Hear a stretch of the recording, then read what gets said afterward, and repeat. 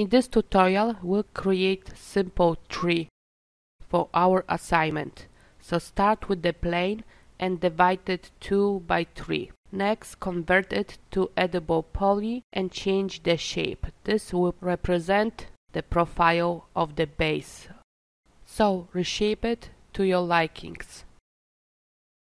Next in front view draw the line. This will represent the base of the tree. Next select the profile of the tree and extrude along spline line. Change parameters to your liking. So here is my finished base. I can start adding branches or I can reshape a bit first. Next I'll create few lines that will represent branches of the tree. So just click and draw a line.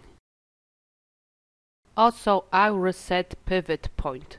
It makes easier to adjust the position of each branch. Next I'll switch to left view and again I'll add few more branches. And as before I'll change the pivot point and adjust the position of each branch to my liking. When I'm happy with my overall design, I'll use extrude along spline line to create branches.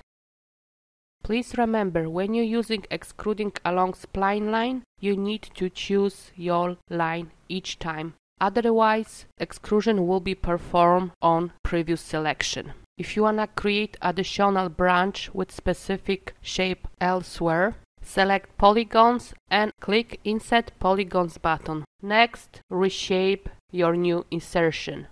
Set up constraint to edge so you change the position of each vertex, but you preserve the overall shape. After you finish adjustments, create new line and apply extrude along spline line modifier. And here is some basic scary looking tree. Now, if you wanna make this tree look smoother, you need to apply Turbo Smooth modifier.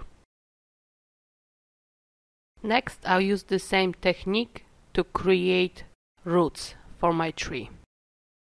So keep working on it, keep adding as many branches as you like. If you want to add leaves to your tree, please use simple planes and later we'll add textures with opacity map. So you don't need to model each leaf separately. So here's scary looking tree that you can apply to your final scene.